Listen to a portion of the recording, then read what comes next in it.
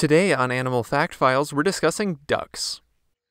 Ducks are classified in the same family as geese and swans. Generally speaking, ducks can be told apart from geese and swans because they're the smallest of these waterfowl. Ducks have shorter necks, shorter wings, and come in more diverse colors. Ducks show more sexual dimorphism than swans or geese. Sexual dimorphism is when the males and females of a species appear different from each other. See the difference between this male and female mallard? A male duck is called a drake, and a female is called a hen. Their babies are called ducklings. Ducks molt or drop their feathers twice a year, usually after breeding and then again a few months or weeks later, depending on the species. During this time, drakes are in their eclipse phase and look more like a female of their species. There are over 100 living duck species, but not all of them are commonly called duck. Some have multiple common names, and others are known as a goose, even though they're still technically considered ducks. Typically, they are split into three groups based on their behavior.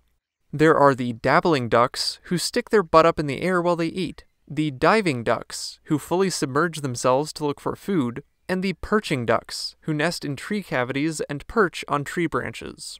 Of course, to make things a little more confusing, there are also sea ducks and stifftails, who are part of the diving ducks, whistling ducks, who are also known as tree ducks and do a lot of perching, and steamer ducks, who hardly ever fly.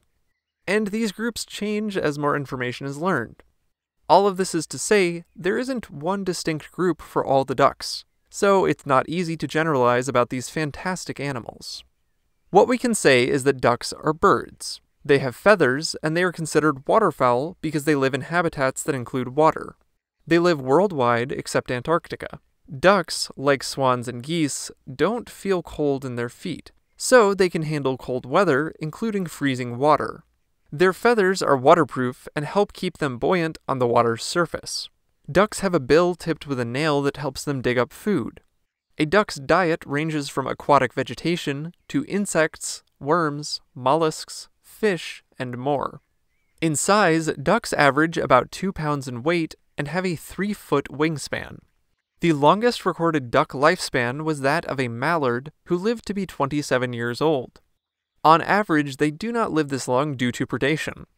Predators to ducks include snapping turtles, large fish, crocodiles, foxes, and other birds like peregrine falcons, hawks, owls, and herons.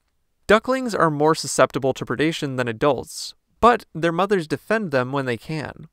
Ducks lay eggs in a nest that may be crudely constructed on the ground or high up in a tree cavity.